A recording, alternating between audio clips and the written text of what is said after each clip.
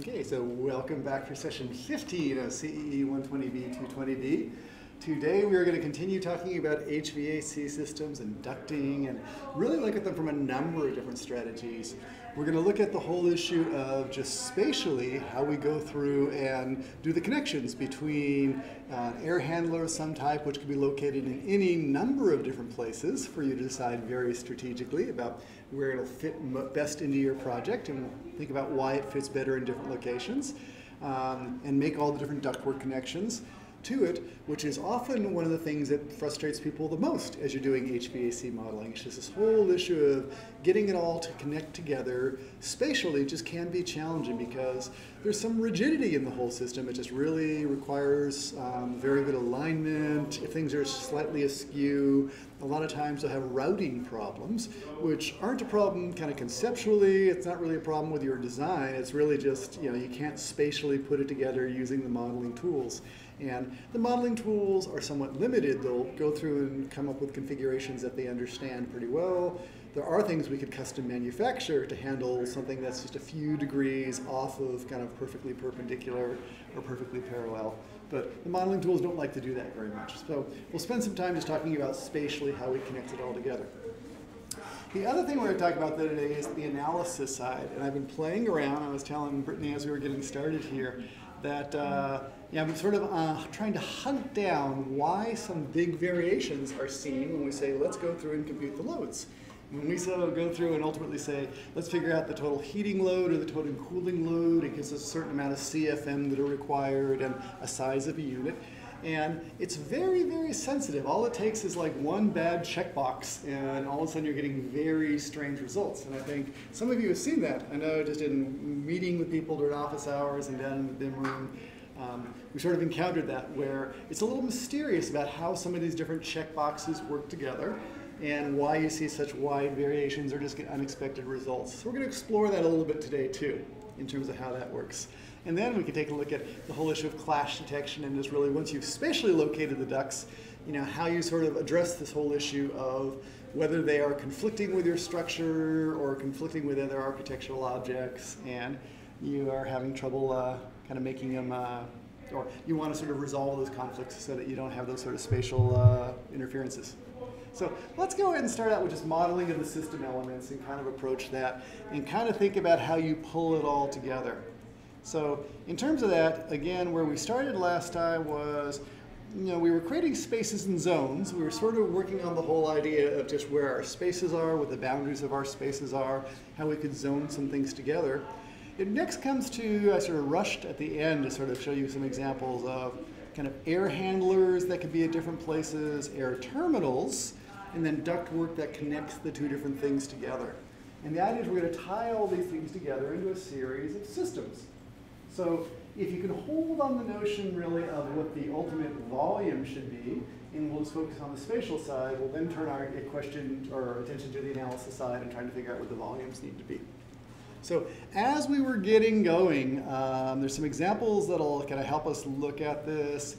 Oh, for example, if we open up, let's go to, I think they're sort of sitting around in session 13 as a location. But if we go into, uh, let me go back to session 13.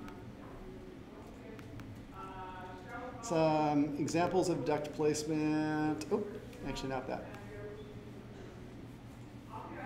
Well, hang on. I'm going to see. I've reorganized a little bit.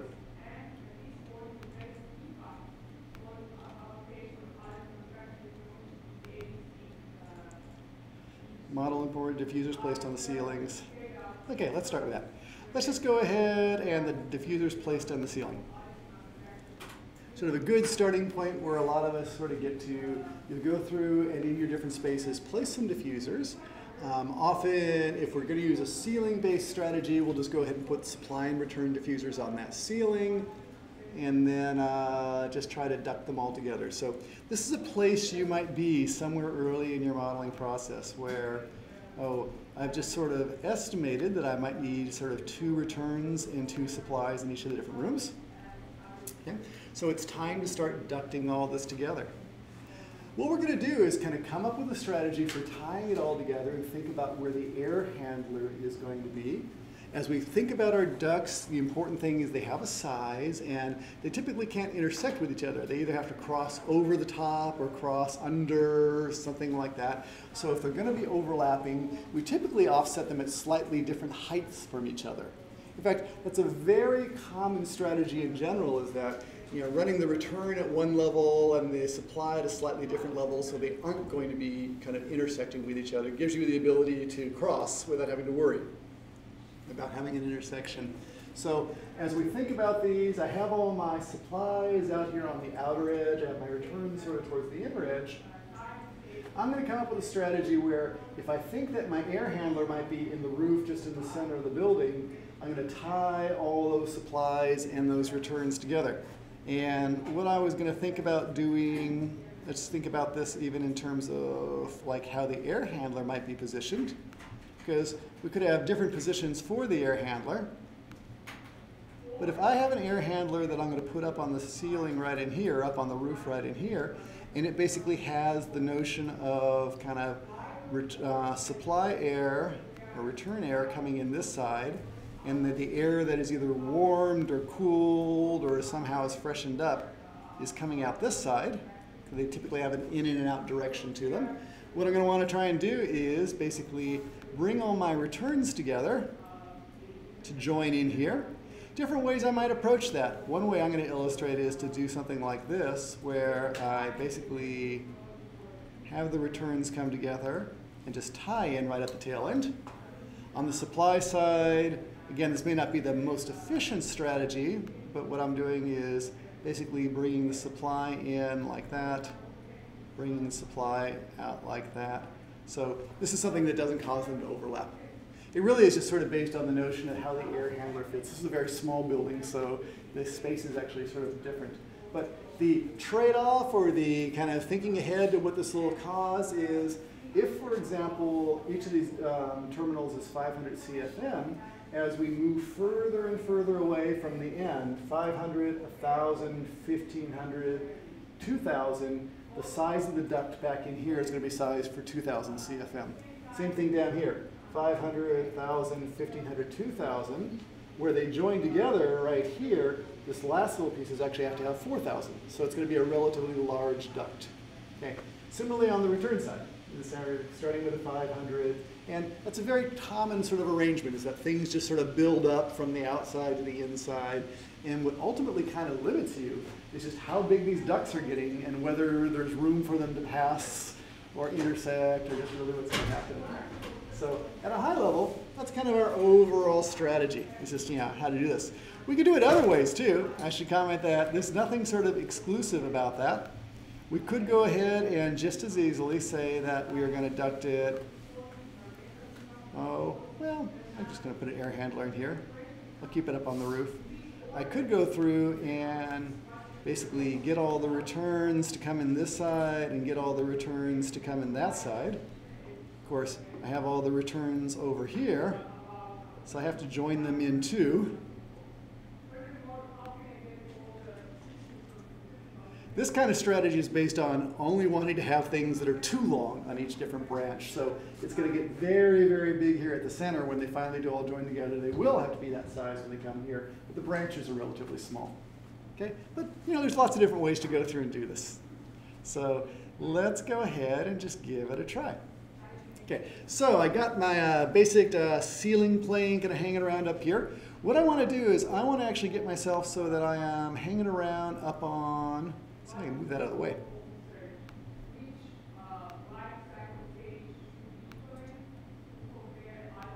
I'm always bad about where the handle is for moving this thing.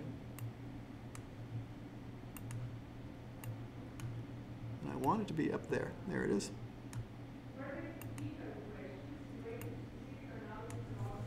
Okay, I am going to look at this in terms of in the mechanical section of the file. I can look at it in terms of the floor plan or the ceiling plan. Since I'm going to probably be putting them above the ceiling, up above my head, the ceiling plan is probably a better choice. So let's go ahead and switch over to that way. Ceiling plan 2 which is looking up towards the ceiling. Actually over here, just so we sort of kind of keep track of what's going on, you know, if I'm looking at floor plan one mechanical, I may not be seeing things. Floor plan two mechanical would be from the roof level looking down, so I might see the ductwork there. But I think it's easier just to look at it from the standpoint of being on ceiling one looking up. Okay, so we have some basic space here. What's going to happen in just a little while is we're to put an air handler right here above the hallway that's going to sort of fit down in. So let's just try connecting some ductwork first. And for ductwork, how this works is you go to a nearby Systems tab, you choose a duct, okay, and now we will go ahead and start placing some ductwork. Okay, as you start placing the ductwork, notice that there are a couple things up here in the options bar to watch out for. A default size as well as an offset. That offset is measured relative to the current base level. So if our current base level is one, it'll be nine feet above. Okay. You could do it the other way. You could say it's a foot below level two. Okay, but I tend to do it this way, from the bottom up. So at nine feet, if I was doing that and I was going to choose to oh, we're going to choose a type, whether it's supply or return. I'm going to run one of the different sets at, say, 9 feet. I'm going to run another one of them at 10 feet, or at 10 foot 6, or even 11 feet, depending on how much space I have. Now, this height that we're giving, um, there's a justification relative to it. There's a vertical justification, so if it's vertical and it's 9 feet, if it's 12 inches, it'll go from 8 foot 6 to 9 foot 6. It'll sort of be centered on that 9 feet. So we have vertical justification. We also have the horizontal justification. That is, as I draw a line, is it going to be centered on that line or be on one side or the other side of it? Okay, so let's just go ahead and put some supply ducts in here. As I go through and put in some supply ducts, I'm going to run them over here near the supplies. Notice as I start coming around the corner here, I'm making a sharp corner, but because I have radius elbows and T's set up, it's going to round that out. So it'll put a little T in there, a little kind of radius, excuse me, in there. That's going to be fine. Notice it has a color right now, and that color is the blue color, which is what it uses for the supply lines we're starting to have the beginning of a system. And what happens is, as we add more and more things into the supply system, they, they will be colorized. They'll sort of have the same notion. And as we go through and attach things in, if this is, for example, supply, and I try to attach a return to it, it'll complain. So let's just kind of give you a sense of that. So I'm over here. I'm going to go through and again, I tend not to connect the ducts right to the terminals just because if you do, it creates a very kind of hard, rigid connection that doesn't give you much flexibility. So I tend to just connect them close in. Okay, some nice supply ducts. Notice they're turning blue. They're recognizing, oh, okay, you're all sort of connected together. You must be part of the same system. So that's what it's doing. For the final little piece, I'll use flex duct to go from the end to this. And again, the reason for that is that it gives you that little bit of flexibility spatially so that if it happens to be a few inches off, you, know, you don't have a manufacturing problem on your hand. Okay. I'm going to run another duct over here just to sort of show you an error. I'm going to purposely make an error. I'm going to come over this way with a supply duct, and then I'm going to try to connect a, a return into the supply. Okay. And it's interesting, it didn't complain too much. Often it'll complain and give me a warning at that point. But notice it's sort of, you know, we got sort of a color difference there, you know, that isn't really what we want. So I'm going to take that back out.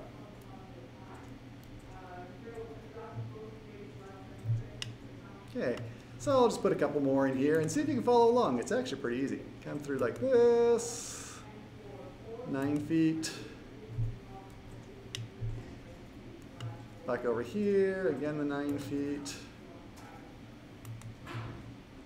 Super, and let's connect those together. So I'll just connect here, connect here. Okay, so far so good? Go ahead and if you want to connect that in there too, let's do the same thing. I'm gonna like take this one out just because I know that was bad. And I'm gonna rejoin these two pieces. There's just kind of two discrete pieces there and that isn't right it'll heal it back up again. Okay, so it's kind of like walls. Walls do that same sort of thing where, okay, so, so far, this is like a good supply side of this. It sort of makes sense in terms of what's going on over here. Okay, now, this is actually a system. We don't necessarily think of it as a system, but it is. It actually understands that all these things, since they're connected together, are part of something that's going to go and be supplied and actually work together. So, if you want to start thinking about that as a system, there's a couple things you can do. If you hover over one of those and you hit the tab key, it'll show you the entire system. So that's all what it considers to be once a network of ducts that's going to be tied into some sort of air handler. Okay, that's kind of okay. That's sort of about what we have in mind in terms of those coming together. Um, if we wanted to, we can start even sizing these ducts up and understanding them a little bit. Because based on the whole notion of 500, 1,000, 1,500, 2,000 as we move upstream, you'd sort of like to start to think about just really how much flow is going through that pipe at every step of the way.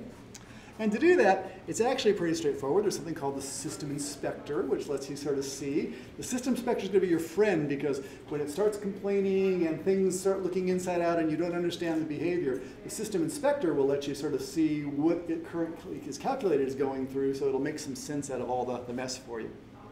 So to use the system inspector, we do have to do one thing though. We have to cap one of the ends just so it understands something about which direction the air is flowing. So what I'm going to do is choose this guy over here, which is the end. And oh, let me see if I can find it. It's under modified ducts. There's analysis. We're going to do that in just a second. see what I have in here.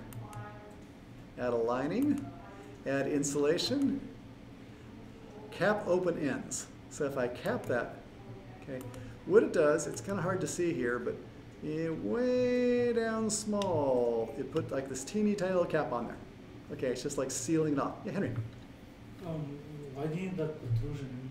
Oh, we actually wouldn't. That would just sort of allow for some extension, but as Henry rightfully points out, we could even do this. I could take uh, these sides and even do a little trim. I'll do a little modify. If you know that's going to be the end, and you know that's just really the end of the line, and you're not going to change it that would actually be a little bit more efficient. You wouldn't have a dead end. so that, that little tail would just be allowing for some expansion. So you don't need to put it, so you said you need to put a cap? Oh, in this case, we won't need to put a cap because there's no open end. The only open end is on the other side, which is where it's flowing to. Okay, so if you ever do your sizing, actually, I am I'm sort of bad. I usually tend to put those tails on to allow for some expansion, but then when you do the sizing, it'll complain, oh, this is, there's no flow through this thing. You know, and what it's basically saying is you really don't need that thing. Okay, so you know you're correct. If you actually have a good design, you probably would sort of cap it just like this. Go to termination.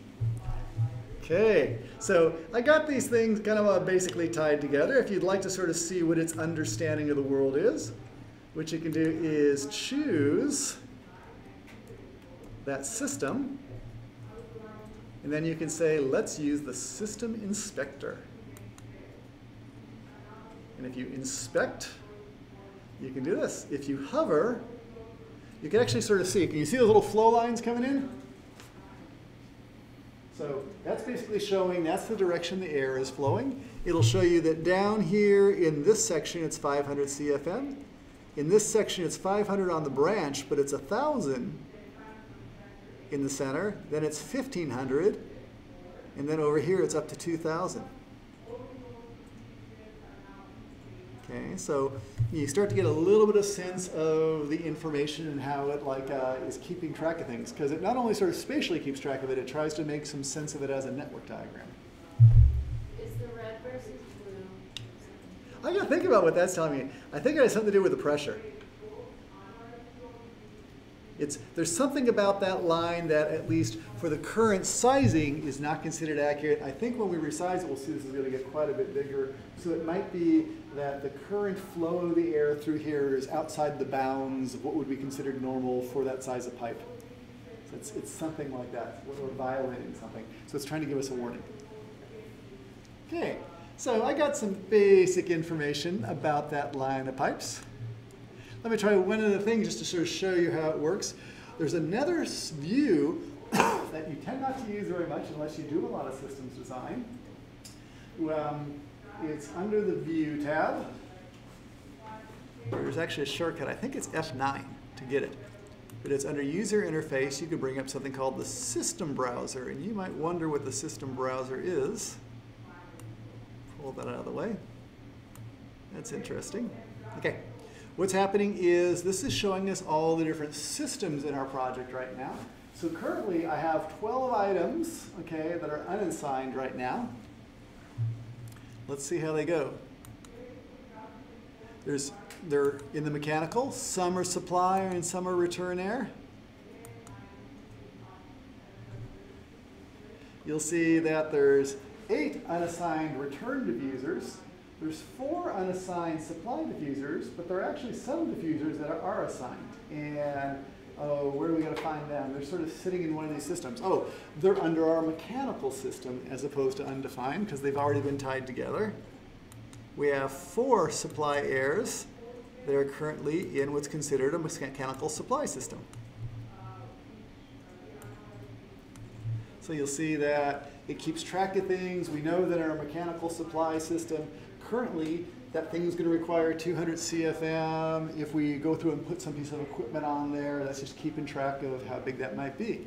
And the same sort of logic is something that carries through in a lot of the different systems.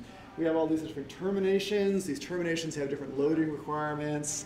Um, you tally them up based on the systems, and you sort of get basically the requirements for the server that's going to serve that system. And that works for mechanical systems, it actually works for plumbing systems, it works for electrical systems. So that you kind of rally or tally everything up and bring it all together. So we have just some information kind of hanging around in here. But the system browser is going to be your friend after a while. Let me try, is it F9? I think that's what it is. Nope. Oh, what is it? Hang on, I have it in my notes somewhere. Let me go back over. System Inspector, System Browser. It says open with F9. It says F9, so let's see if I can get that to work again. Again, my machine's always kind of a little bit strange because I'm on the Mac instead. Let me try closing it. Uh, F, okay, F9 does open it up. Doesn't close it, but it opens it. okay, so we can pop that back open when we need to. Now, we got a system kind of hanging around over here. Let's go ahead and kind of think about kind of having a similar system over on the other side there. It turns out, you know, you can use all your continuous or regular sort of drafting tricks to go through and do this. So you can mirror, you can flip, you can draw it on the other side, but a really quick way of doing this might be to go through and grab kind of most of these, okay, and then just do a mirror around like the center of the hallway, something like that. And that way, if I have made them even, I'm not sure I have made them 100% even, that would be able to kind of get them across. So I could grab these, I'm just going to control click to get a bunch of these. I think I can actually get away with just choosing the lengths and not the connections, but we'll see. So I've chosen some of those. I will go ahead and do my modify. Let's modify the ducts. How about just modify in general? There's modify in general. Let's see if I can do a little mirror action, and I'll mirror it around the center line there. Oh, it's interesting. It didn't go ahead and get the connections. Well, I don't want that then. Let's go back and actually do this. How about if I do a little bit of drag action, like that. So I'm just dragging from left to right. That'll grab everything that's intersected, not only the things that are sort of completely enclosed. Let me do a little filtering. Okay, I just want ducts and duct fittings. That sounds fine. And I will again do the mirroring.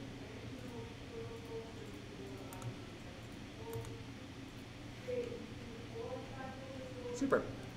I still do need to go through and connect that final little piece though. I need to go through and put that little piece of flex duct in there.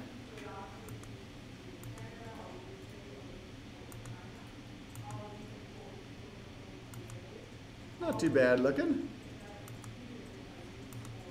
Still have to connect that to an air handler, but we've got the, at least the terminations, the ends of it kind of looking pretty good.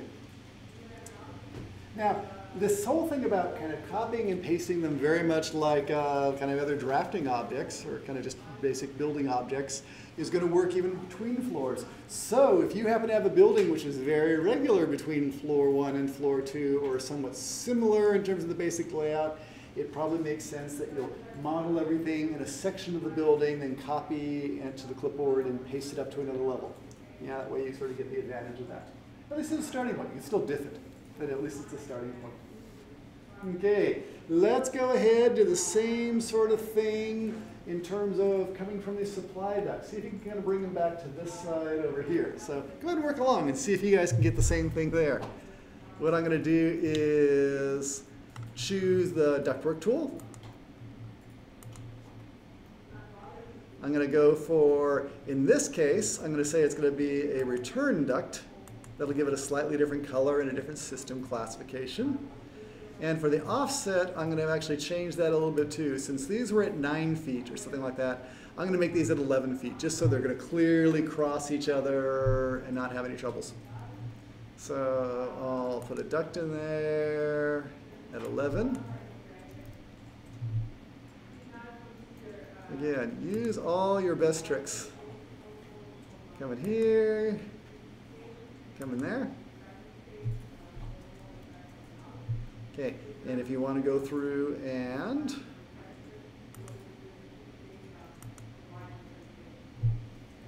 kind of connect them all with Flexi, that's super.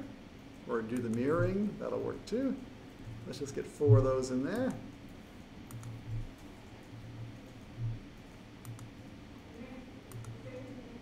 Excellent. I'm going to go through and put some flexis in there.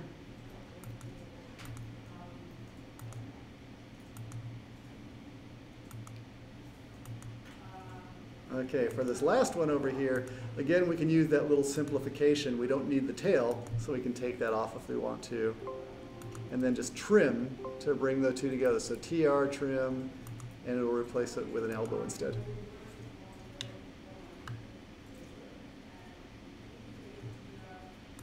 So not looking too bad.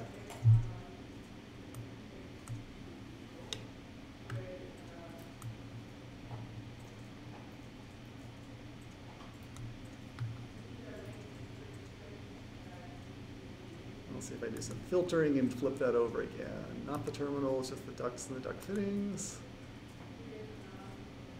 And I'll mirror that over.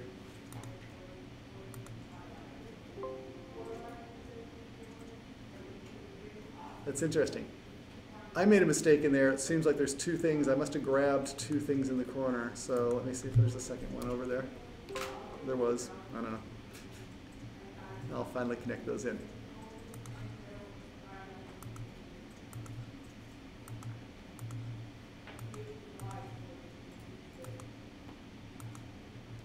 So for keeping tabs on things in our system browser, you might imagine that the systems are showing uh, now 4,000 on each of the supply and the return.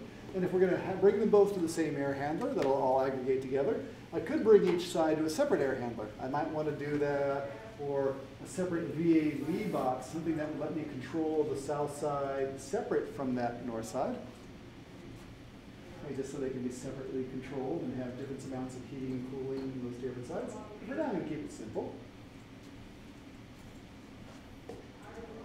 Okay, feeling pretty good? Okay, last step then is this. We are going to, I'm actually going to join the two sides together and put a little T going in either direction, coming back towards this mystery air handler, which is about to go in there. And what you're going to find is that the, the air handler connection, that's always the hardest piece. Yeah, this part's actually not too bad. You sort of get the hang of this. But what I'm going to do is, in the same sense, is bring that across.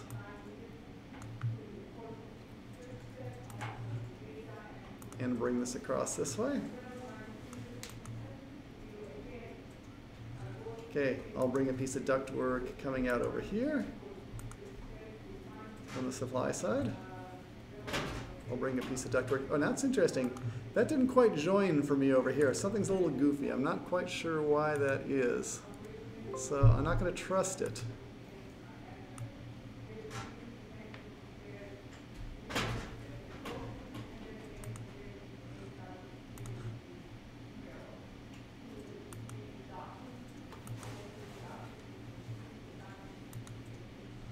Hmm. Still, oh, I did something funny there. Okay.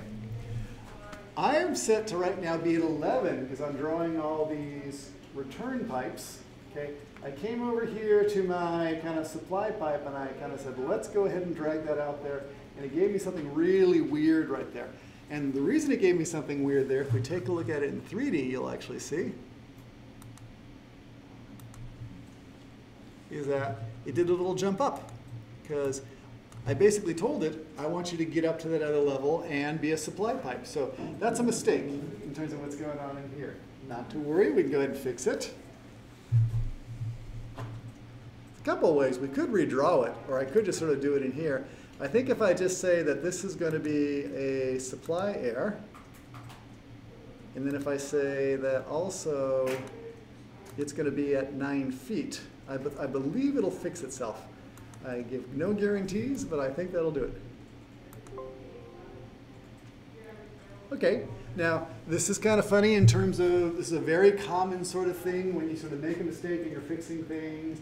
It says something that I put in there is going to flip around inside out and, the and it's going to be weird. Okay, and that's only that's the only thing you should read out of that is it just sort of there's something in there that it doesn't think is going to be valid, so it wants to delete it, and that's fine because what's going to happen there's just something about, and I imagine it has something to do with these little funny connections right in there. So let's take a look. There's something that's just not quite connected there. Yeah, it didn't quite fix it as well as I'd want to. So what I would do is, in the same sense as I do with a lot of things, when they're just sort of getting a little screwy and they're not quite giving me the behavior I want, let's see if we can come on in. And I'm just going to get rid of some of those connections because I know those aren't right. I got these little double elbows and stuff like that, or little uh, transitions. So let me just try that. Okay. Simplification is your friend. Always simplify. Okay, super. Let me pause there for a second. Okay, you got something that looks like that on your screen? Somewhere in there? Okay, now we're going to go into the next step, which is putting some sort of air handler in here. And again, we can put it up here on the roof, we can put it outside, we can put it in the basement, there's a lot of places we can put it. Here's the rub about air handlers you have to know about. Air handlers, since they're usually used to handling you know, several thousand CFM as opposed to 500 CFM, have big old ducts that come into them.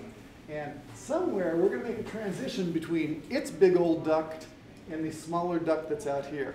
And that's where all the rub comes in. This is where all the trouble comes, is just trying to get those things to size up nicely. So what we can do, even in preparation for that, is it might not be bad to size the ducts to get a realistic size on how big these, these uh, tabs are that need to connect to the air handler, just so we don't try to connect in the 12-inch duct and put some weird connections and transitions and then resize them and then they'll need to change because that'll just be grossly off from the size they need to be. It's probably better to size them before you try to do the final connection, okay, because then you don't have to undo it. And the way we would do that is as follows. Choose that fabulous system. In fact, I think you could probably choose both sides. Is it all one? There it is. That's all one system. It thinks it's all a system, although it's interesting that thing's sort of missing from it. Let me try it on this side.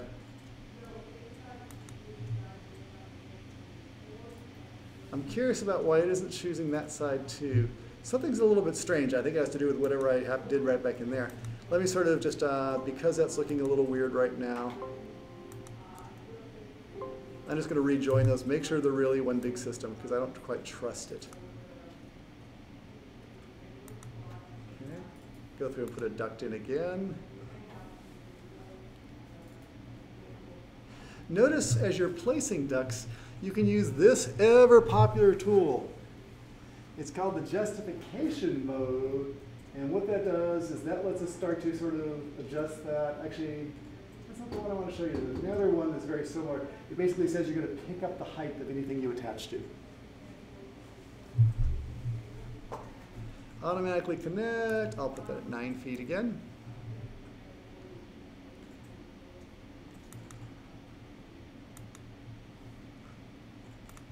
Yeah, it doesn't look right.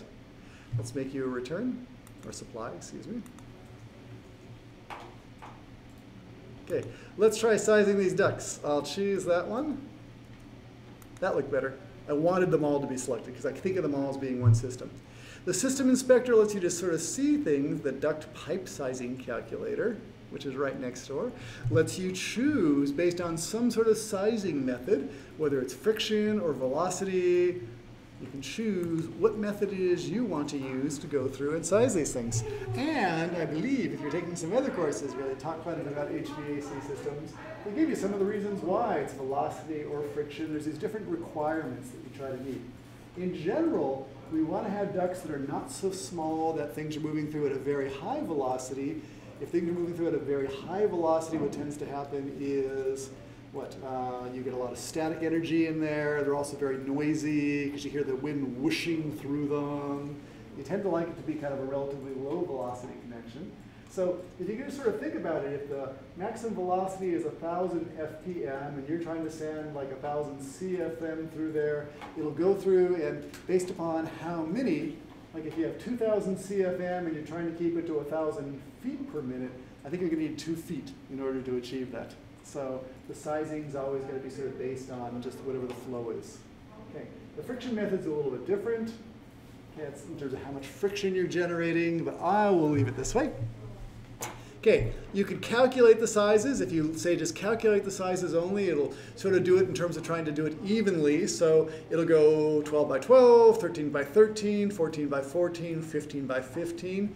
The idea is those relatively square shapes are kind of efficient. If you have a height restriction, though, you really don't want it to get any higher than 20 inches or something like that. You could actually say that you want to restrict its height or restrict its width. Okay, so you can do that. What will happen then is it still needs to create the area. It'll just make it wider as opposed to making it taller.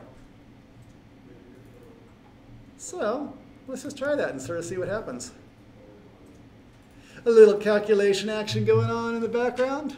Ooh, and check that out it looks like things have changed. So out here at the extreme ends, we have a nice ductwork out here, piece of ductwork, which is a mere nine inches by, no, nine inches about eight inches. Okay. As we keep on coming back, you'll see these still are staying small, that nine inches by eight inches, but the trunk, which is continuing to gathering, is moving to 15 by 15, moving to 17 by 17, finally moving to 30 by 20. Now let's talk about what happened there. It probably could have went 24 by 24, but since I gave it a height restriction of 20, it just didn't get any bigger than that. So here it decided to go fat as opposed to going tall. Okay. So we bring them all together and we have a fabulous 30 by 20 piece of duct that needs to be connected in over here. Okay. The same sense, we're going to do something, the same operation over there. So if you can, go ahead and grab those guys. And let's size them up and kind of get a nicely sized piece of duct coming in that way. So choosing all those, a little bit of duct and pipe sizing. I'll stick with the same limitations. Theoretically, since the flow is about the same, I expect the sizes to be about the same coming in both sides. Okay, we are looking pretty good. So let's just pause out there. Zoom to fit. You're actually not looking too awfully bad there. Okay, so this is one variation.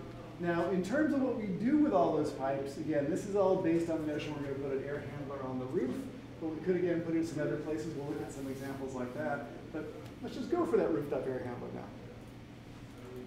Mr. Henry, what you got? Um, so, so blue and red going into the around have to be the same volume. Um, currently they do. Yes.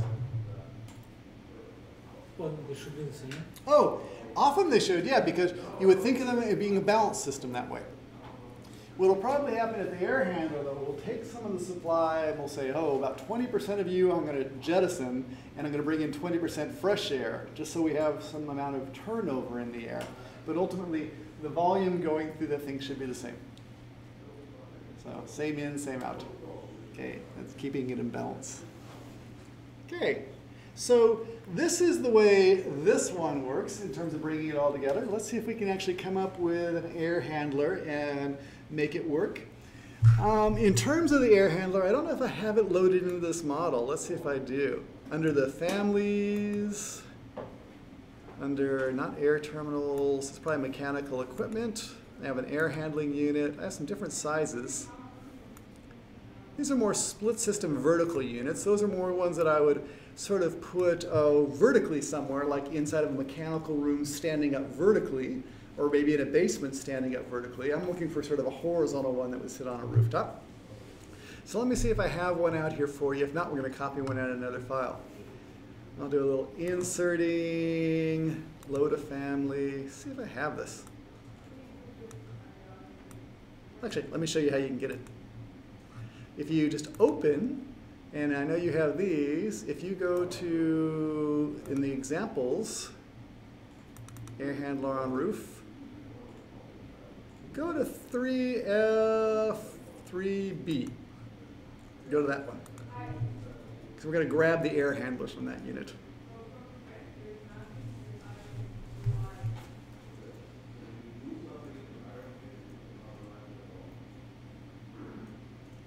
Now, air handlers, there's really nothing too awfully special about them in terms of the way they're modeled in Revit. They're really almost like just big rectangles. They're rectangular solids that are understood as having sort of ins and outs. So this little green unit up here on my roof is the air handler. If you want to take a look at it, there's a lot of families out there. We can go out to the web and either through Autodesk Seek or through some mechanical equipment manufacturers, download Revit parts that sort of uh, model the different types and features of the air handlers. Let me just open this one. I'm going to edit it so you can take a look at sort of how it's defined. So here we are looking at it from the upper right-hand corner. You'll see it has some ins and outs. If I zoom on in, you'll see I have a big surface right here. Okay, This is con considered to be the flow out of supply air. So it's coming off the bottom on that side. Maybe I could shade that and make it a little bit better. So I have some supply air that's coming out there. You'll see there's some other connectors for this thing over on the side. There's a little water out. Typically what happens there, or is that the power? That's the power over there. Hang on, where's my water? Is it this one? Sanitary, that's the water drainage. What's this one? This is hydronic supply. What's going on there is, um, let's see what this one is. That's also hydronic return. I have basically some water pipes that'll let supply water come in and water go away. Okay, that's going to be all about if we're heating or cooling, we'll run the air past some heating or cooling coils. Yeah, it's interesting.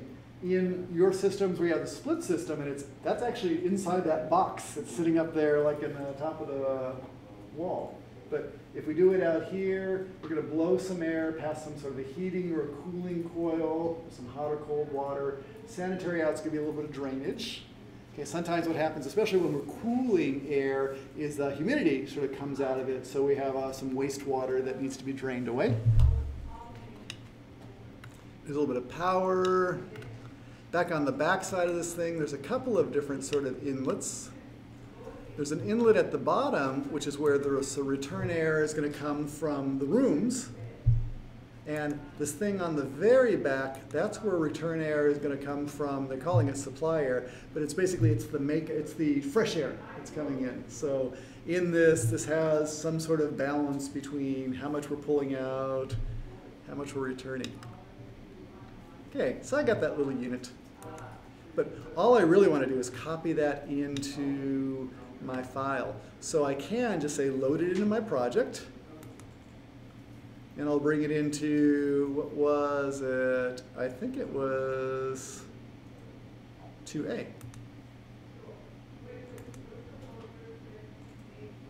It'll be available there. Actually, there you see it. Okay. Or you can kind of copy and paste it in there, just uh, whatever way you want to. Yeah, is that one? Could you also insert VAV boxes? Yes.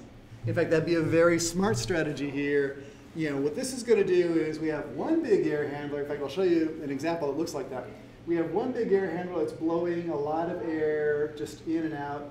If we uh, used a VAV box, what that would let us do is if we want to zone the building, sort of, for example, if we want the south to be different from the north because it might need more cooling and less heating, we'll bring the air not directly to the ducts, but we'll actually have a VAV box somewhere along the line that lets us control the amount of air going to the different branches.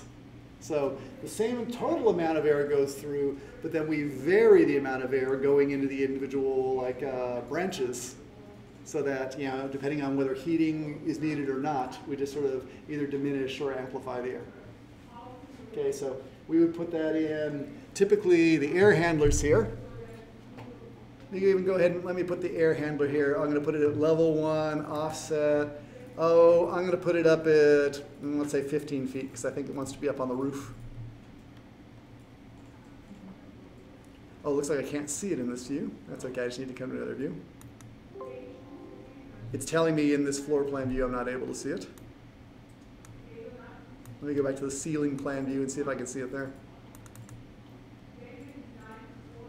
Not there. Let me try, um, make sure it's there in uh, like 3D first, and then I'll figure out why my view isn't showing it to me. Okay, it's up there. In my ceiling plan, let me try this. Let me say, what if I wireframe it? Still not. It must be the view range. So I'm going to say view range of the ceiling. Oh, it's just going up to level two. Ah, so I could just put it at level two, or I could say that the top of this is going to be unlimited.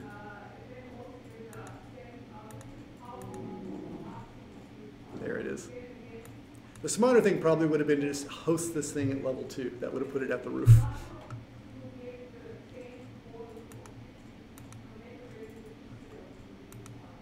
Now, in terms of finally locating it, let me give you a tip in terms of putting it in here. Let's see if I can zoom on in here. Interesting, doesn't want to do that. Zoom to fit. Hmm. Try again. You'll notice that I have my little uh, unit kind of hanging around in here. I have my center line of my ducts over here. This is one of those things where center lines help. Aligning things to center lines really make a big difference because if I try to join it in, for example, from the right side and connect it into that connector, what's going to happen is it's going to be this funny little angled piece, and it won't be happy about that. It'll complain a lot about that. It likes things that are more direct. Same thing over here. Since it's down a little and it's off center, it's just a little strange. So what I would be very helpful to do just in terms of connecting this would either be to, I could either think about either moving the air handler so it's in line with the center of the ducts, or I can move the center of the ducts so they're in line with the air handler. Either way. But one of those two things will happen. So what I was going to do is just do a modify, and I will align. Let me start by just aligning these two different ducts from the center line. Looks like they're actually pretty good. Now we'll align the center of the duct to the center of the air handler. I think it's right there. Okay, beautiful. And that's just going to make it a little bit easier to connect this thing in here.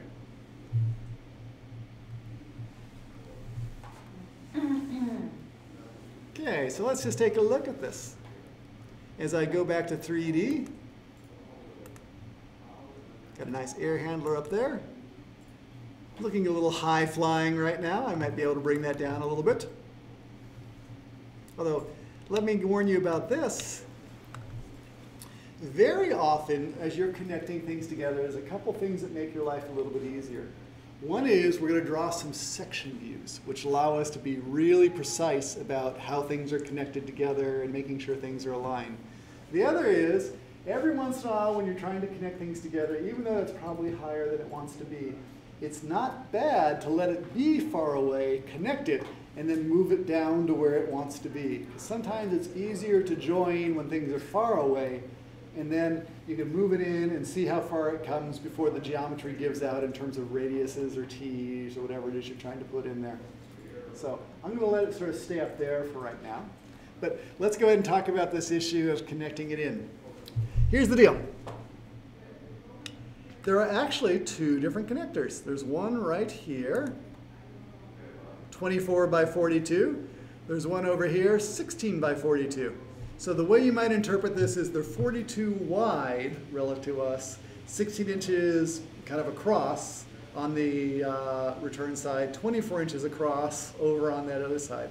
And that's just the uh, dimensions that came off of the air handler.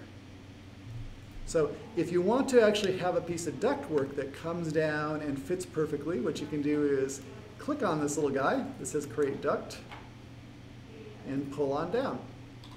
Now it's complaining around a little bit. It's kind of doing it that way. Let me see. That's not looking very good for what I want. Hang on. It's giving me the offset. I want it to be vertical instead. Let me see if I can do that again. It's going that way. Hang on. I want you to be vertical. I don't want you to be horizontal. It's trying to do it that way. Oh, what do I have to do? I'm always thinking, thinking, thinking. What is my trick for doing it here? I got to think back again for just a second.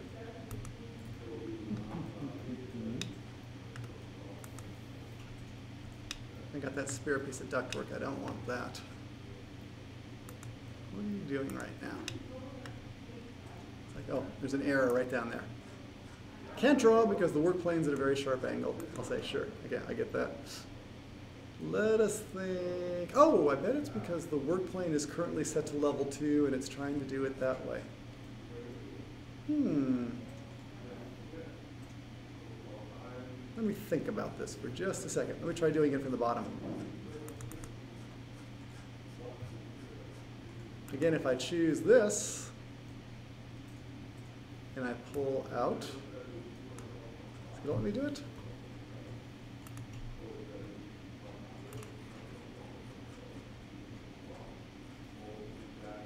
Okay, I'm going to be able to pull it that way. Now it's doing sort of an interesting thing. You'll notice that as it's trying to create, it's basically suggesting 24 by 42, but it looks like it's only giving me the 24 dimension. What I really want to do is offset it. I want to switch it over so instead of 24 by 42, it's 42 by 24. I want to just kind of rotate that up around because 42 is really what I want to have come out here. So what I'll do is before I put that in there is just switch that over to say 42 by 24.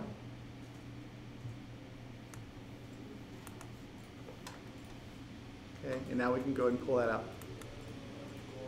Um, in this case, it's complaining because the height isn't right. Let me try that again, see if I can get the settings set up. But this is exactly the part that frustrates people so much. This is the fussiest part of the whole operation. I'll say choose it. I'll say again 42 by 24, and I'm going to actually go ahead and put it down lower. I want to put it lower so that it'll actually have some room to uh, go through and make the elbow. And let's say that it's going to be more at like uh, 11 feet centered. Okay, let's take a look at what that just did.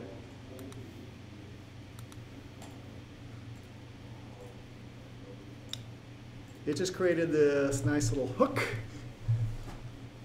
Yeah, it came on down, it's over here, it's now creating a piece of ductwork down there, although that looks a little funny to me too. Let's take a look at it from the side. Okay, that's a big old piece of ductwork. The deal is I want to get that big old piece of ductwork connected to this piece of ductwork over here. But it's helpful to go ahead and pull that first piece out. Now notice as we're doing this, since we're doing radiuses, which are nice and efficient from an airflow standpoint, they're very big spatially. So a radius of 20, uh, 24 piece it has to be like 36 inches or something like that. It's, it's, it's a ratio of like 1.5 or 2. It's quite a bit bigger. So if I do it with radiuses, okay, it's going to be a bigger space. If I did that with a T connection or a tap connection, it'll be smaller because it won't require nearly as much room. So maybe I'll do that. The problem with this sort of arrangement is I'm not going to have much room to be able to pull that down. I'm going to have to sort of honor that. So maybe if I instead switch that over to a T, that might be better. Okay, how I would do that is I'll come back in here and just get rid of that piece of ductwork. There's a transition here. There's even one more there. Maybe not. Okay, and what I will do is say that as we're putting in our ductwork, as opposed to being a radius elbow, let's go ahead and change that to be a rectangular duct that has like oh, a mitered elbow or a tap.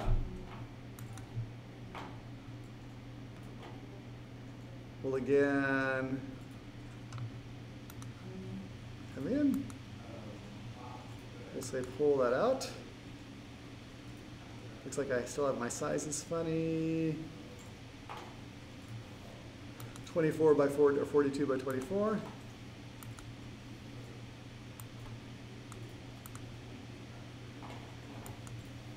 Oh, I still have that height difference. Let me change that again. Again, ductwork, 42, 24, centered at 11.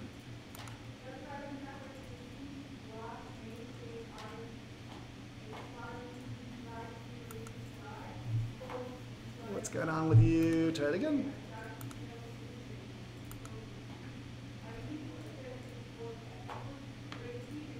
Forty-two, twenty-four,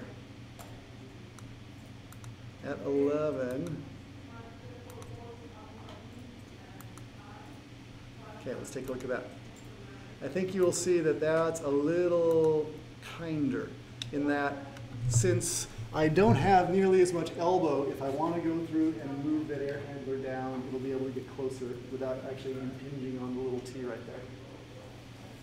Okay, so that's the basic thing you got to do is connect this thing in on each side, okay, and then hopefully we're going to connect that final few inches. We'll do that in just a second. But let's go ahead and see if we can get that. Let me pause here for a second. In terms of this air handler and getting some basic piece of ductwork coming off of it, see how that's going or how that's feeling, because that's actually one of the hardest parts of this whole thing. It's just getting that little thing just right. And it's because you have a big old piece of duct, it's coming down at a weird angle, and it's just kind of hard to get to it. But Sanjay, is it sort of feeling good? Uh, no, I'm not getting it now. Not yet? Okay. Is there anything we can do to help, or? uh, no, I'm still trying. Okay, no worries. Okay. Let me go ahead. I will try to do the one on the other side too. This is the supply. Let's get the return, and then we'll talk about connecting them all together and show some variations. But this is the one thing people, yeah, they, they just labor over this. So, you know, if there's anything that's going to sort of just oh, be a fussy element, this is it. Well, I should warn you, even for this, you know, in terms of overall what we're doing here, a very complete model does have this connected. In some people's models, if it's just too hard, I would say don't lose sleep over this one connection because you know what's going to go on. You have the overall strategy for your ductwork. We can do the uh, clash detection on the ductwork. That's more important. Know, the whole question of whether you can get those last few pieces of Revit modeling to connect is really uh, not the most important thing. It is systematically, but it's not, uh, yeah, it's still a lot of work sometimes. Okay, let's take a look at this uh, connection over here. This connection is, where is it? It's, is it 48 by 48? That seems so huge. Well, that's that one over there. Now I want this one over on the side, on the bottom. Is that it? I don't think that's it. That would seem so weird. Okay, well, let's go 48. Nah, it's not that. It's like 42 again. I'm, I'm just reading something funny here. I can tell it's 42.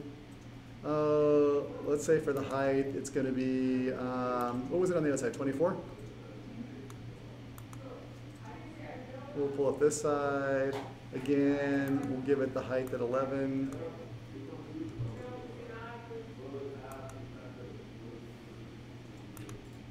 Okay, let's check that out.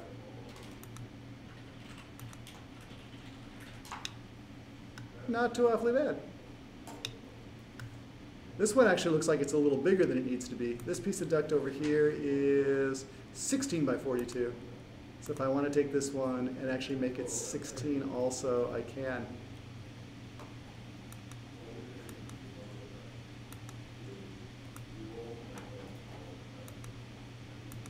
I'll straighten it out a little bit. Actually, Henry, this sort of gets to your question about the flow, though. It's kind of interesting, because even this sort of has a little bit of information that's sort of like that. It's 24 inches going out, it's 16 going back. There's a missing 8 inches in there somewhere. And the difference is, 8 in, yeah, basically the extra 8 inches isn't going to come in as fresh air. This system to be really complete, we're going to take some of the return air and just exhaust it, as opposed to sending it back to the air handler. 8 inches worth of it. Yeah, so it all has to stay in balance. So if there's a difference between the out and the in, it's the difference between the uh, fresh air that you're bringing in or just the returning air. Okay, so to be complete on the system, we'd have to have an exhaust that's somehow sending it out too. Okay, so I got this fabulous sort of air handler. It's got these two things. We're ready to connect it in, but let's talk about connecting it in. You want to connect it in. There's two things that it really needs to sort of happen to make it connect nicely. It has to be located in the same sort of plane vertically, and it has to be located in the same plane horizontally. So let's talk about that. Vertically, to make this work well, what I would like to do is basically have this duct, which is going back towards the return, be as close as possible, kind of to the height of what's going on over there. The more changes between this height and this size, and that height and that size, the more transitions you need between things to make it all work. So your best chance is if you sort of bring them in at about the right height, and then it only becomes an issue of transitioning the, the size of the pipe and the width and all that kind of stuff. Okay, so in order to make that happen, for going um, in the horizontal plane, we can look at it in the floor plan or the ceiling plan view and align it. Okay, for the height, the best thing to do is this. Go through and in your ceiling plan or in your floor plan view, give yourself a section. And I'm going to say do this, it just has a general principle for almost all these mechanical systems. It's very useful to have a section cut very, very close by where you can just see really precisely what's going on. So here it is.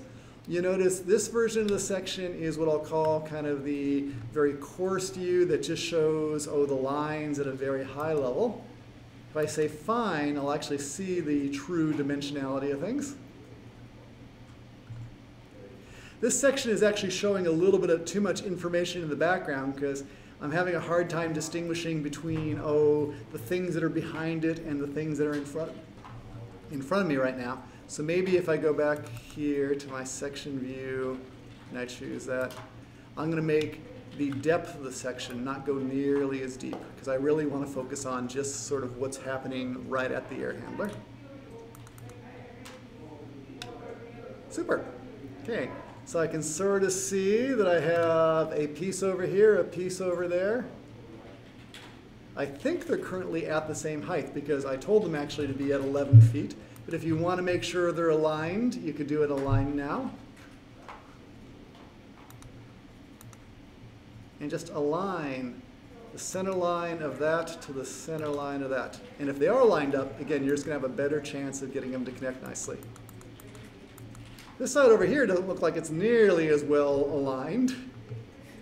So let's think about this. It's kind of an interesting one, actually.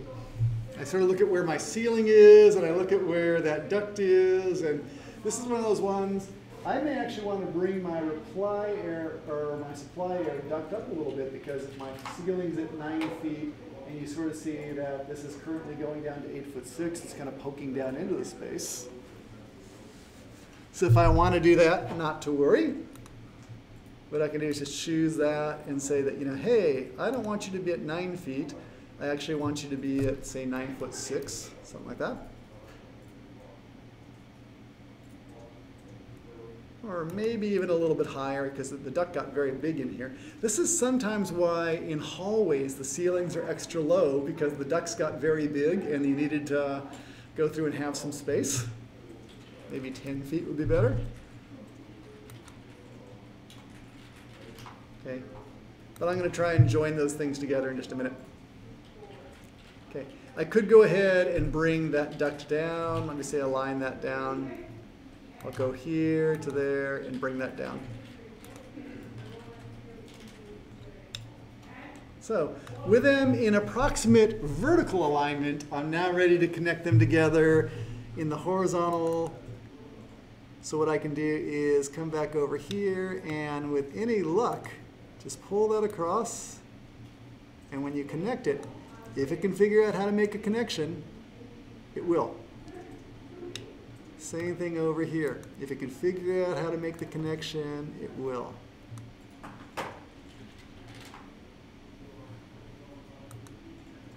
Super. Let's take a look at that in 3D.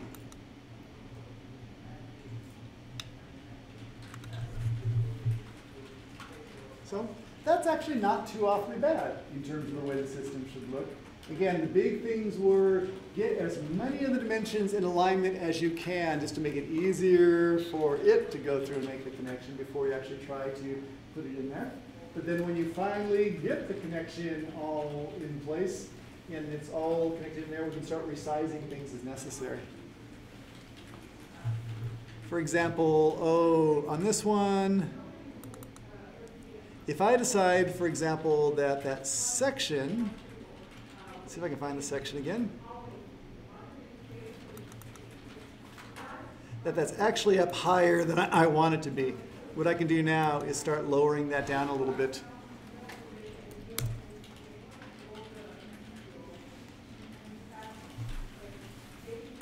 Just kind of bringing it down so that it's closer without actually breaking things. Okay, so let me pause there for a second because really this is the hardest part right here. It's just getting those kind of funky things to connect together. Christine, is it is it daunting? Is it like uh, giving you troubles, or is it just kind of like, tell me what you're saying? You, you look apprehensive. Can't wait. She's waiting with anticipation for the opportunity to do this on her own building. Because of this thing about air handlers and the challenge in connecting and stuff like that, it's part of it, but you know what, the challenge is really, it's ultimately dictated by the reality of the situation, which is why often we don't have a single air handler for a building, we'll sort of spread them around a little bit so that you know, either things stay small before we get to it, or you don't have to run the ducts, the pipes and ducts as many different places. Yeah. How can you model, if you can, passive HVAC systems?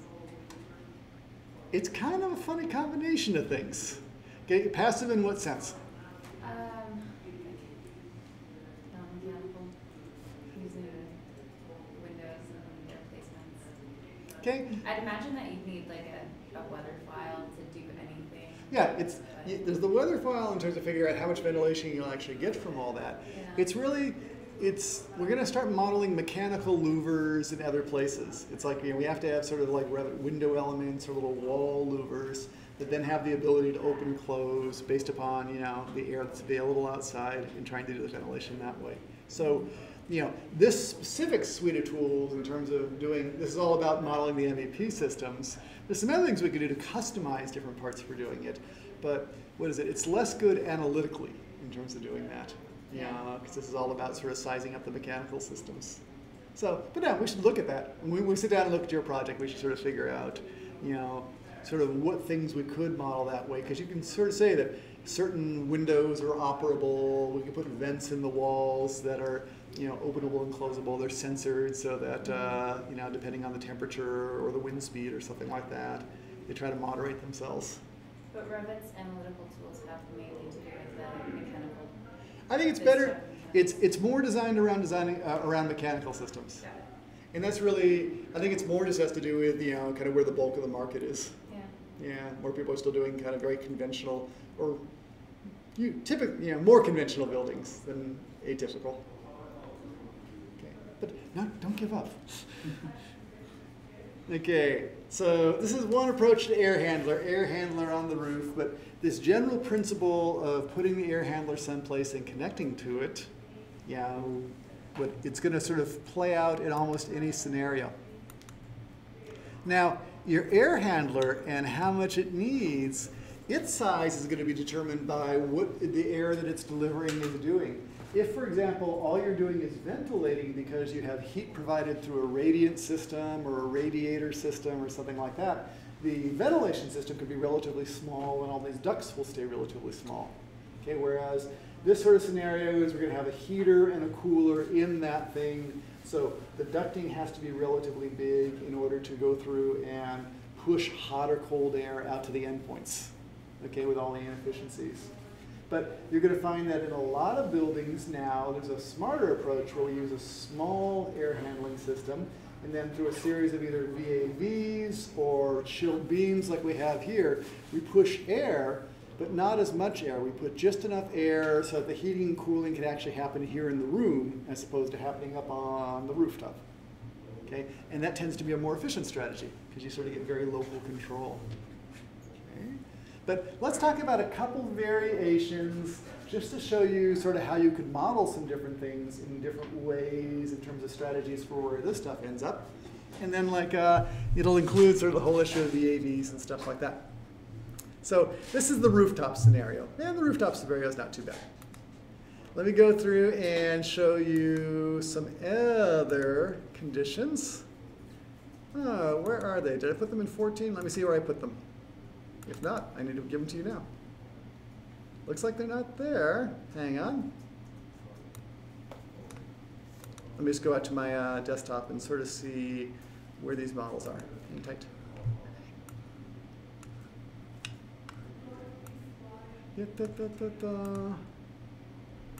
So if they're not there, duct placement, that's all there.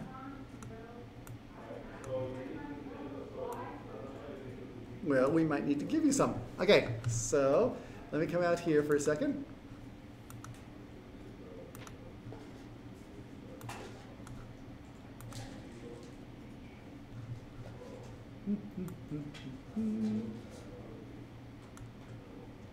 Got it. See if I actually put them in there.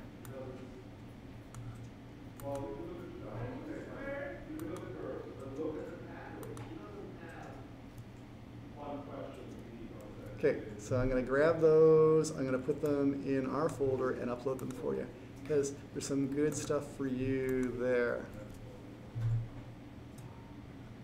Okay, and let me upload these for you.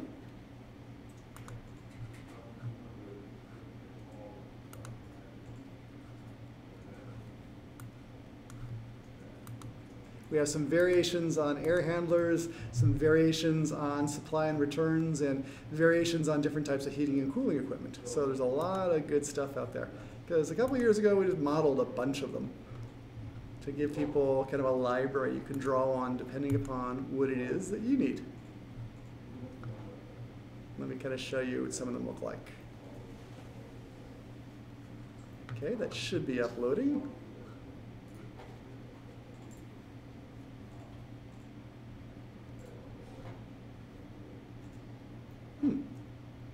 What are you doing to me, Canvas?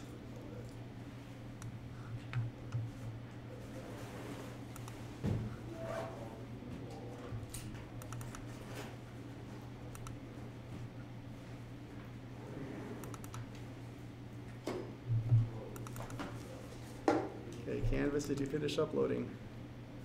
Looks like it's starting. Okay, that, oh, that's a part. It's a big file. Publish.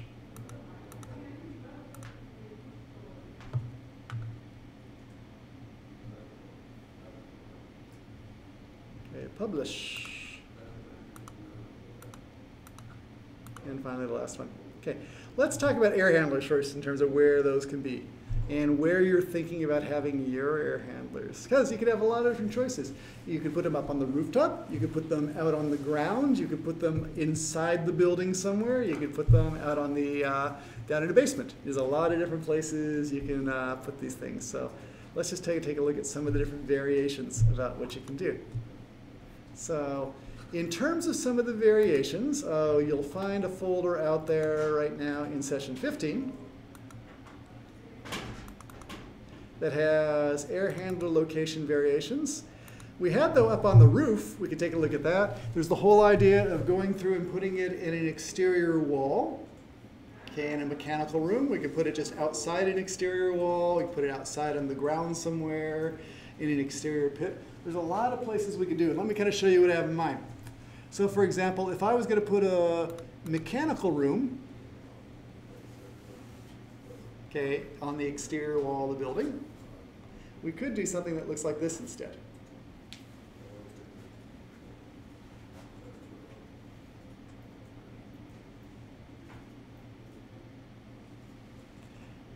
Besides waiting,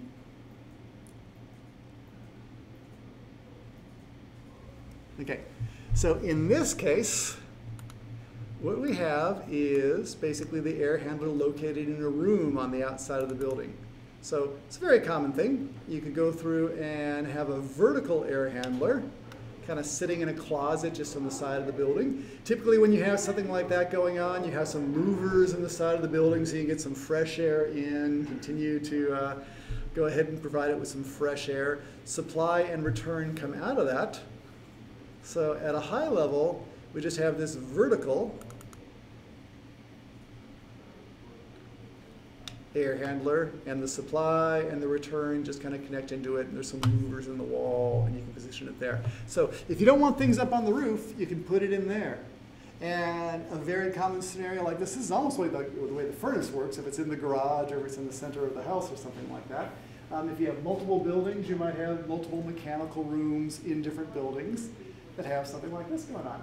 So if you don't want to put it on the roof, you want to have the roof preserved for some other sort of uh, function, you might go through and put something like a mechanical room just inside somewhere.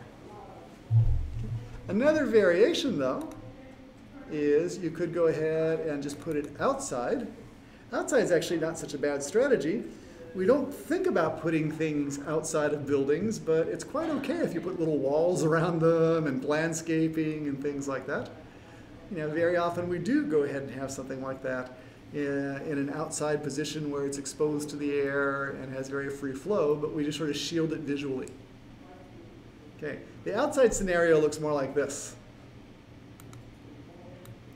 On the first floor, you could go ahead and have that air handler just kind of hiding behind some sort of a fence. Okay. The ducts can still come down inside the building or they might come down outside the building, but you just position the air handler so it's outside somewhere. And again, that sort of works. Yeah. Another variation we'll show you that is kind of perfectly reasonable is if you're on a hillside, to go through and do what I call putting it in a pit. Okay? And if you're on a hillside, the nice thing is there's probably a side of the hill which is very exposed where people are coming up to the building. You won't put it on that side, but on one of the other sides of the building. You know, even though the earth, uh, building might be partially underground, you could have a pit with a grill on the top of it and actually have the air handler in there. If you've ever walked over a piece of sidewalk and air was blowing up out at you, that might be part of what's happening there. So the pit sort of strategy looks something like this we'll go through, and on the side of the building, we'll have just a little area where there's a grill or there's a railing or there's uh, some grill on top so you can't fall into it. But you could actually have an air handler down in there. So at a high level, I want you guys to think creatively just about where you want your air handler. Is it a rooftop air handler? You know, if you have a green roof, you may not want it right where the people are. Okay, you'll want to conceal it or move it somewhere. Um, it could be down in the basement. Even if your building is one and two stories, you could have a subterranean mechanical room and have it in there. We just have to get air to it so that it can actually have the equipment there. It could be on your first floor or your second floor. It could be on any of those locations. In turn, we just need to be able to get fresh air to it. And as you're thinking about locating it, the big thing to think about is just the distance between it and where you're going to take it so that if you you know, need to split it into several different air handlers, you consider a strategy like that as opposed to doing a central one. You can sort of split it around. Yeah, Gustavo, you have a question? Uh, no. No. Okay. So a lot of different possibilities from air handlers. Let me kind of show some variations on equipment too and how they all sort of work together because you know there's really just a lot of strategies for this. This is all based on this whole notion of pushing a lot of hot air. There's heating and cooling happening there. But as Gustavo asked, there's actually some other strategies where we have either chilled beams or VAVs or something like that, which are doing the heating or cooling more locally as opposed to doing it all in the central location. So let's show you a variation that looks like that. If I say, for example, open, and I'm going to shift over to, uh, I'll leave the supply and return variations, just so you know what those are. There's a whole bunch of different variations showing uh, either supplies or returns in the ceiling, in the wall, in the floor. There's nothing that says they have to be in the ceiling. Okay, in a lot of buildings, we put them in the floor. We run a duct through down to the walls, and we kind of have the air blowing up to the floor in some sort of underfloor scheme, or suck it away on the floor. Kind of depends on really what you're most interested in. So we can look at those variations. But I think the ones that are going to be most interesting are heating and cooling equipment. So here's an example. Uh, it's really a multi-zone system with some VAVs. That may be one you want to go through and take a look at. In this case, let me go to the version 2 one. We're going to actually have a piece of equipment which is going to take in just air, and then based upon some local zoning, it'll heat or cool it. So that VAV will have some heating or cooling element to it, either hot or cold water, something in there. But if you're going to go for a strategy like that,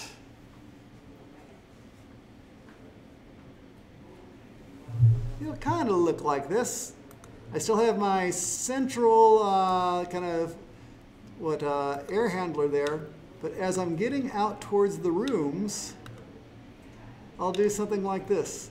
The supply is actually going to come down, and right before it goes to the actual terminals, there's a VAV unit. That's its own separate little piece, and I can kind of show you some Revit parts that do this, where what we're doing is feeding that air really through a number of different outlets, okay, controlling the temperature right there, controlling the amount of air that's flowing right there. We could possibly be heating and cooling it too. But air is coming in, and a limited amount of air is coming out. Okay, and that sort of strategy is a very common one, because that's actually sort of what's going on in this building. Okay, is we'll bring the air, and then we'll control what happens with it right before we get there. The idea is every VAV is typically on a different zone. So in this case, there's two VAVs. This is a zone, that's a zone. We can go through and control the temperature of this room independently of that room. Yeah, Henry. Um, so before it goes through the VAV, is it, is it cooled at all? It's, um, well, it may be preheated. Okay, sometimes what will happen is we'll preheat it or pre-cool it to get to sort of what we consider like a likely baseline, and then we'll just diff it at the end. Because often what will happen is it'll be more, it'll, it'll be more efficient to heat or cool it centrally, but there's a transmission loss as we move through the duct. So we lose a little bit of energy there. But often there's an efficiency to doing it centrally, where if we do it on all the local ones, it's typically less efficient because you're doing it in a lot more points that are just not as efficient as doing it in a central thing. So there's a trade-off. But it's very common to do a little preheating or pre-cooling so that, you know, that if, at the end we're only diffing it by a few degrees as opposed to uh, actually trying to do the primary cooling out there. Okay, so it's kind of a hybrid. Okay, so this is sort of the example of a VAV. Again, every VAV is controlled by one thermostat to control the temperature in that room, or in a series of rooms that are all together. Okay, there's some VAVs over on this side too. So each of those is really its own separate one. In this case, I don't have to have a VAV on the return side because I'm just going to be pulling the air back to the air handler. It's really on the supply side that I'm trying to control it. The other one that you might want to take a look at is a chilled beam. A chilled beam looks like this. Kind of looks very much like a VAV. It's sort of like these things that are sitting above your head.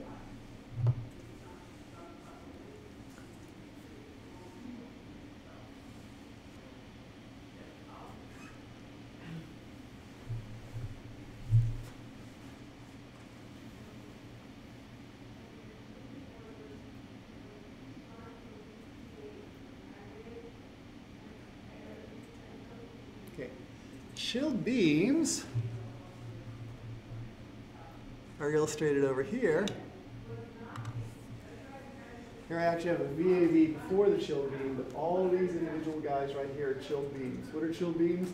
They're actually very much like terminals, only they have the ability to kind of heat or cool right at the end. Okay, so that's kind of a very fully uh, articulated system in terms of giving you an awful lot of control. We control the amount of air, then we can also heat or cool the air right at the last minute. So we get very, very fine control of every room and kind of make sure it's just exactly the temperature it needs to be for that room. So just a lot of variations in terms of how you want to do these things. There, in terms of thinking about the locations of different building or elements and how you balance them together, let me show you one other variation sort of played out in a big building. That's actually sort of a very realistic model. I think it's a model that we may have opened already, but it's in here. It's called, oh, it's the water source heat pump building. Let's open that one and show you how it works. It's an example of going through and having a central air handling system for pushing ventilation air, but then using heat pumps at the endpoints to go through and control the actual temperature. Heat pumps are actually very similar to chilled beams and other things. They just use a slightly different cooling technology at the end. Um, in a way, this is very much like the split systems. The split systems are kind of very similar to heat pumps in terms of what they do at the end. Okay, let's open that one up.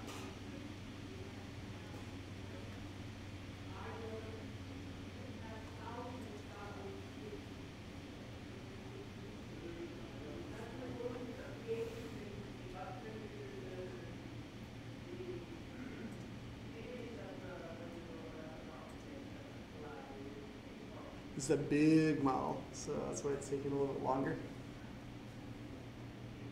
But it's a good example. So as we're just thinking, if we're for this to open up, as we're thinking about your buildings, what are you thinking about in terms of your heating strategy? Do you, do you have an idea yet of how you're going to heat and cool? Do you, are you thinking in terms of uh, heating or cooling air, or using sort of radiant heating or cooling, or are you still thinking about that? It's because like typically we don't have heating systems, we don't have cooling systems. That's actually typically true, yeah. Yeah, and so I don't know if I really need a. Yeah, it's funny. I, I saw something in the the paper the other day about it being the coldest day in Hong Kong in quite a while, something like that. Yeah, was there actually snow? It, it's Um, in, yeah, in some places, like the higher altitudes, like. at the peaks there was some. Yeah, interesting. Yeah, because typically it's just a cooling problem there. There's like almost never happened, at, at least reported. hmm So as you think about cooling rooms, how's it typically work out in, in Hong Kong buildings, as, as, as you know? Yeah, do we do we bring cool water in, or how do we do this? I know how it works in some commercial buildings there. You don't burn cool. I think there's just like some, um, cooling systems within the box. hmm And then so, yeah, they're all split and so we need drainage in the outside of the building Mhm. for every unit because it usually will drip water. Yes. Because as the uh, warm air that's humid gets cooled, okay, the water comes out of it. Okay, oh, very good. Very good. Okay, let me go ahead and say okay to this, and we'll just take a look at this building real quickly.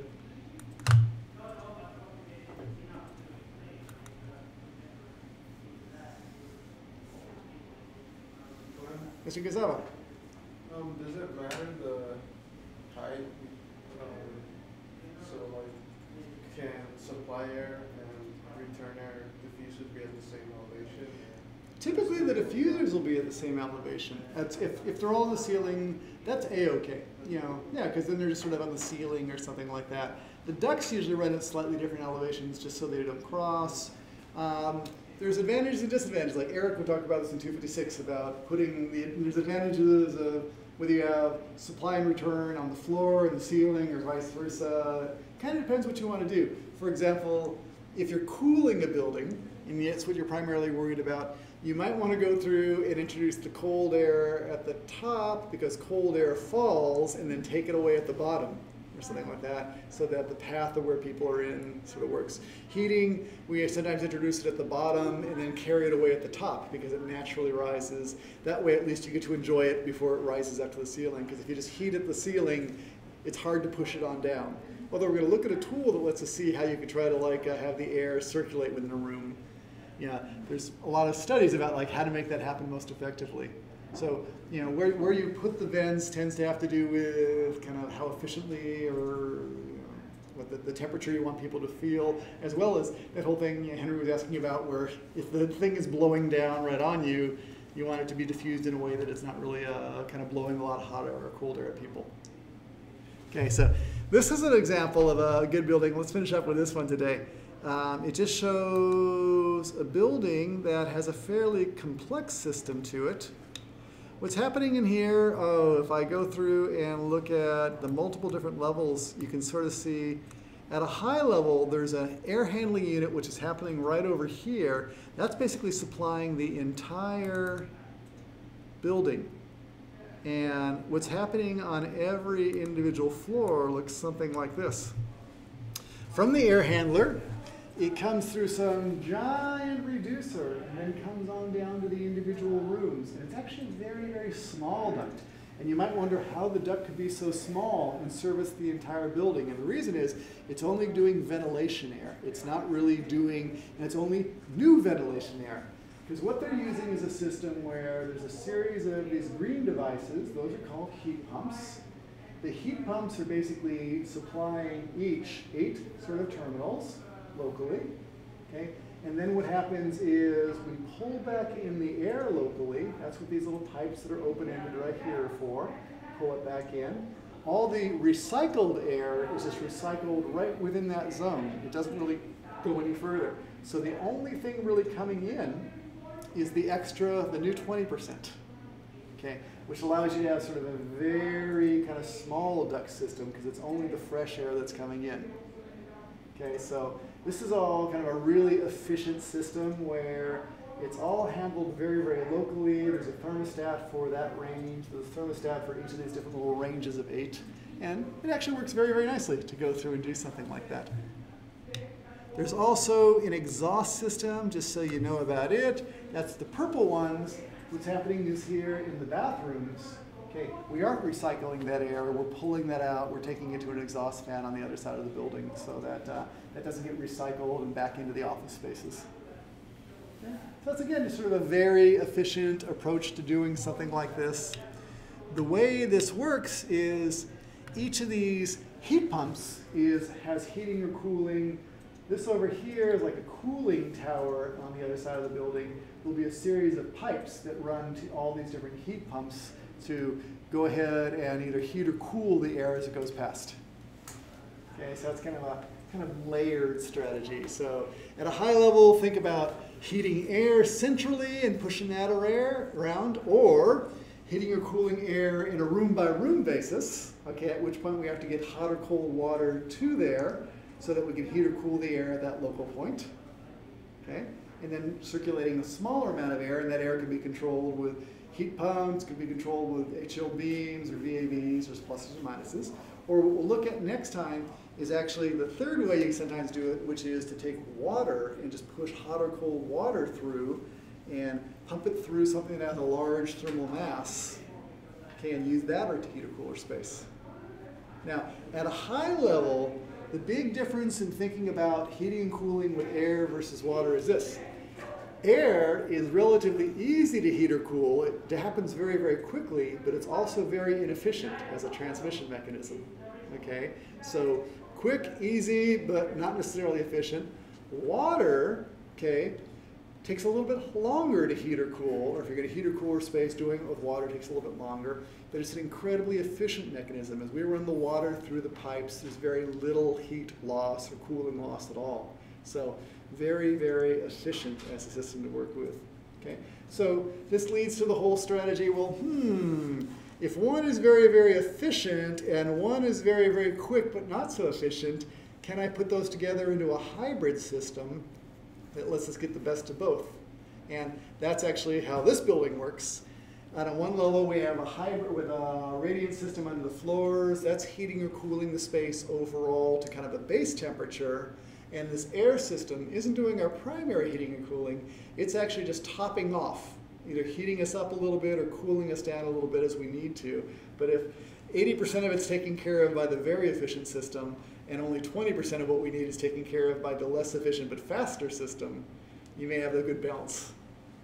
Okay, so that's kind of a, a, theory that works very well. Talk to Angad about it. He's a big proponent of this kind of system, and a lot of the work he was doing this summer as an intern uh, in, for a very good energy consultant was looking at how to design these kinds of systems, and it's kind of a very good creative strategy that gives you a lot of efficiency.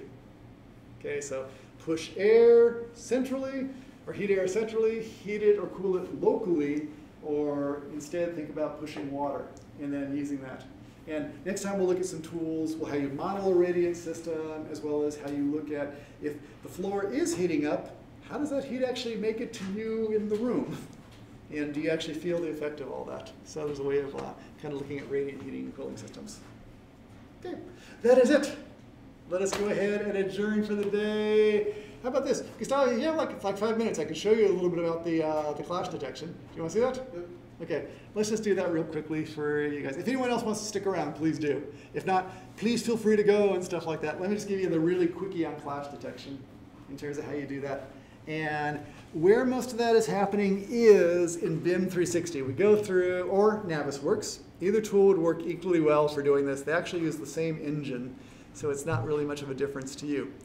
So in one of these models, you go through and you have heating, you have cooling, you have structure, you have all those different things. And one way or the other, we're going to go through and send it out either to BIM 360 Glue by gluing it, or we're going to send it to Navisworks by choosing the Navisworks exporter. One way or the other, we're going to do that and take it over to another environment.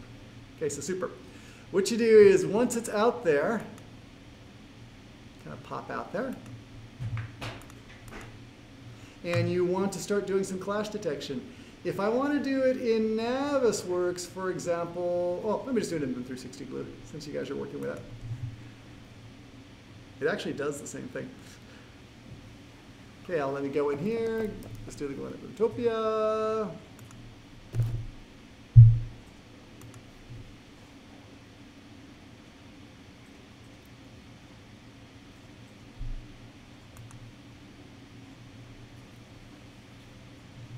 let me open up a sample file. The sample file I'm going to open up is, let's see if I have anything in there. I, no, hang on. No, da, da, da, this is BSI glue.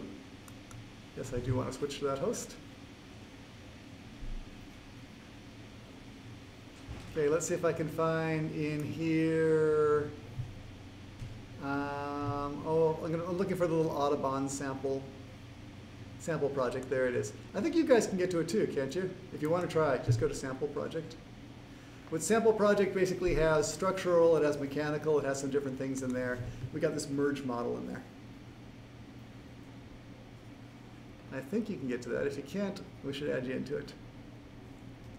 But it'll start by just uh, coming to the model.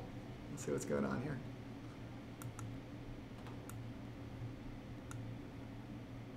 It's just pulling some data down.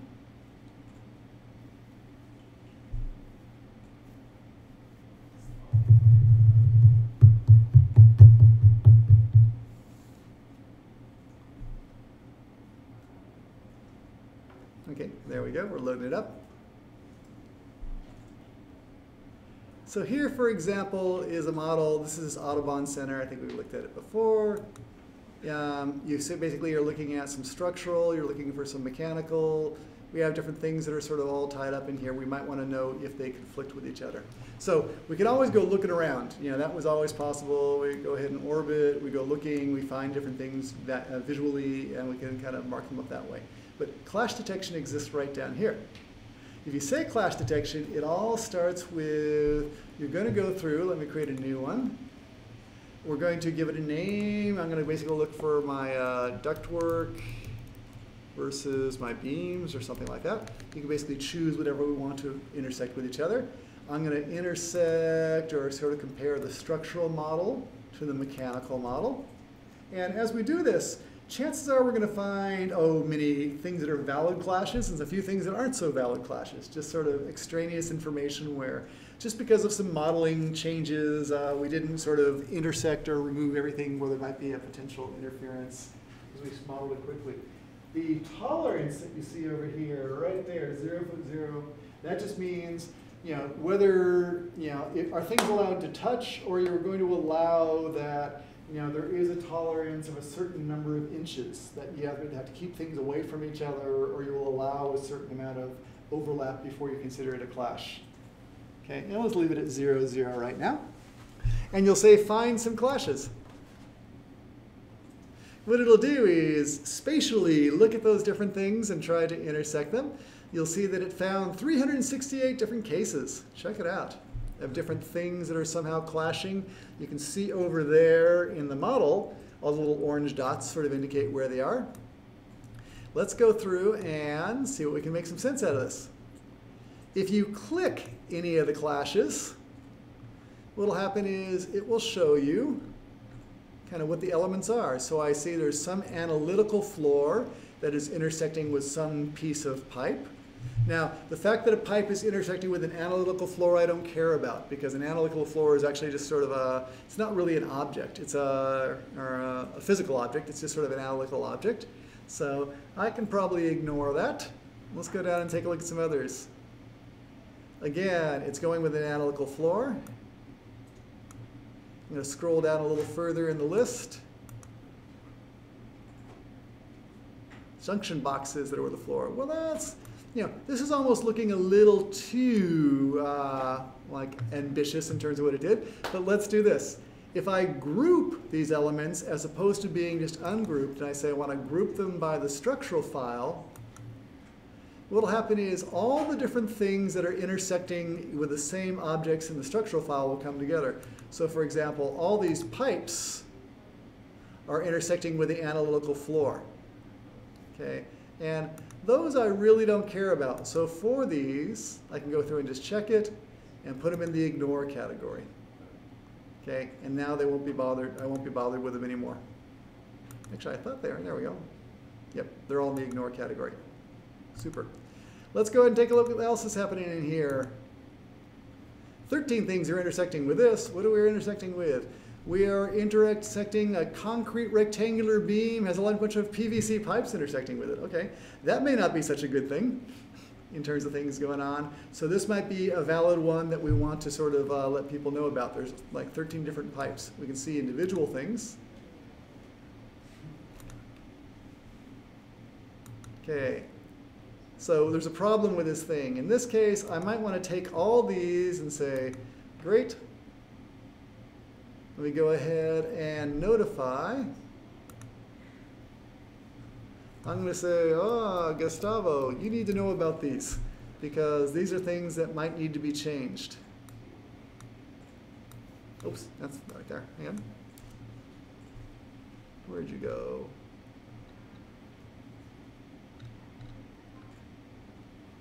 Oh, you may not be in this project. I apologize. Okay. Uh, we'll just send them to Pratt because he should find out about them. okay. Similarly, we can go over here and uh, find some other object.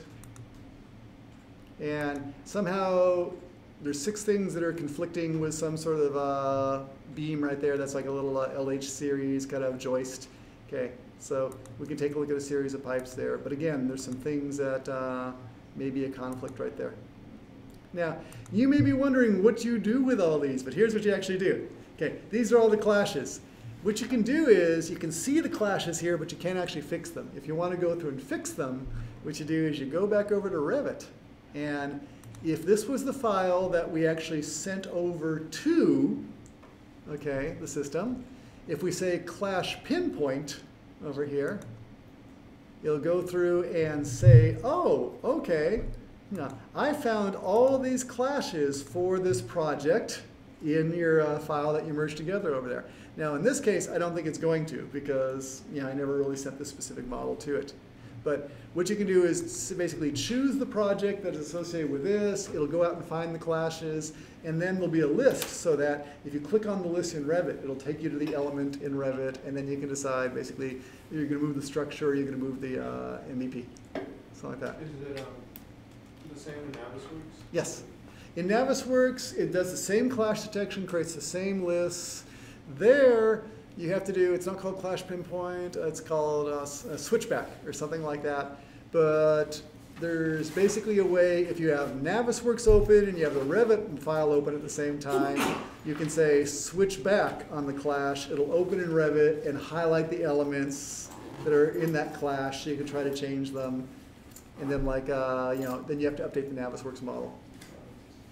Okay, So all you have to do is update and it'll, if you change it in Revit, it won't automatically do it unless you update.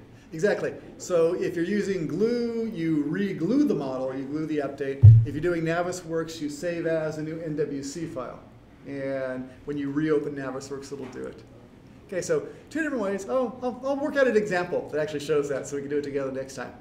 Okay, but that's the general principle. Just run the clashes, get a list of clashes, and as you start modeling your MEP and start modeling your structure, you're going to find there's all these little things that clash with each other that uh, you didn't really count on, but it's you know it happens to us all. And then it's just a matter of going through and tweaking all the dimensions to go through and uh, eliminate as many of those interferences as possible. So when they model like the plumbing pipes, you probably want your interior partition walls in the base model, right? So you can route your pipes through the walls? Or, The interior partition pipes, yeah, they would typically be like in the architecture model, we'll see them, so we run the pipes relative to them. Yeah, and then we can either just sort of work with them, or we can copy a version into the MEP model if we want to sort of attach things to the walls. Okay, but yeah, you, you definitely want to do it relative to all that. Cool. Okay, we will continue next time. In the meantime, please sign up for some times this week, and let's talk about your MEP strategies.